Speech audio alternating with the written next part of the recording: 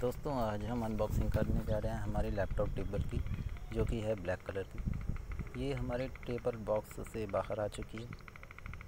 दोस्तों, ये एक फोल्डेबल टेबल है। आप देख सकते हैं।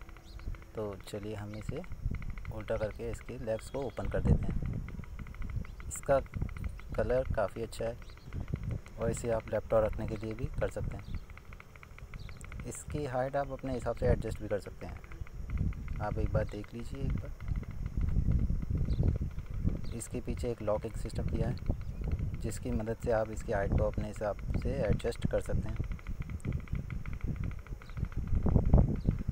और इसमें आप कॉफ़ी मग वगैरह या कुछ और अपने काम की चीज़ें भी रख सकते हैं। तो आई होप आपको अच्छा लगा